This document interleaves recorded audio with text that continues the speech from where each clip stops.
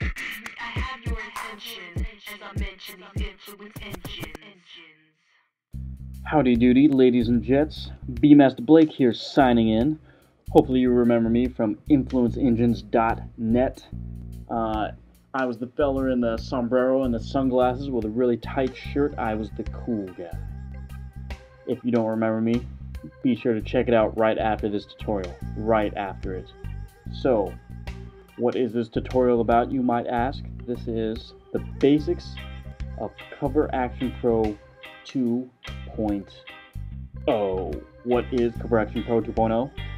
Well, it's basically templates for Photoshop uh, that create 3D renditions of images for products.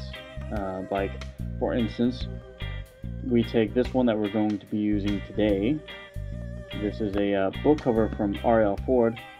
So we just take this flat image and we put it inside the templates of the magical Cover Action Pro 2.0 and we end up with this spicy baby here on the left. So how do we do it? Let's start with the basics. How do we install? First, we insert the disk inside of the computer. Once it's inside of the computer, we come up into Photoshop. Once we're in Photoshop, uh, come up to Window, Actions. Hit the Actions button. So once we're in the Actions window, we hit this little button on the top right. Click that. It'll take you to this little menu. Come down to Load Actions. Click on that beast.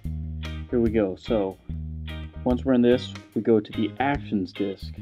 Click on that little sucker. Okay, we clicked on that. Now let's come over to the Actions folder. Or we could drop down right here. Now let's go over to Cover Action Pro 2.0. Double click this beast. So, um, this is everything that they have uh, actions for. They've got uh, anywhere between, uh, I think, 10 and 15 for every one of these. And uh, so we are looking for hardcover books this time. So what we do is we uh, select all of these, Command A for a Mac, Control A for a uh, PC, load, POW, look in this window. So we are just going to choose one of these are random, I suppose. So let's try this one. Create. So create right here. Just highlight this, click on it once, and we hit this play button down at the bottom of this actions menu. Click, pow. Now it's creating the template for us. Okay, so now that we have the template created, all it shows us is uh, where you're supposed to drop your picture because it's drag and drop. You just drop the images that you want into this template and it'll come out with this beast. So the image I want is actually this one that it went over. There we go. Ciao. No, not that.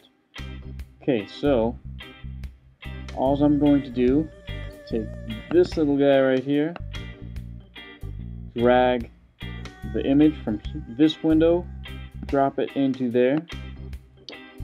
Okay, I just one, two, skipped a few, and after I dropped my picture into there, I just dropped my uh, spine into the spine area. So, um, from the spine area, you basically just come up to this area over here where it says step 2. Once you're at step 2, go down to the trusty little play button and hit that baby. Pow, play, and it starts rendering out your file to show you the final version that you will come out with. All you have to do is drag the images on top of where the template says, hit the play buttons, and you're golden. Alright, this is Blake, Influence Engines, signing off.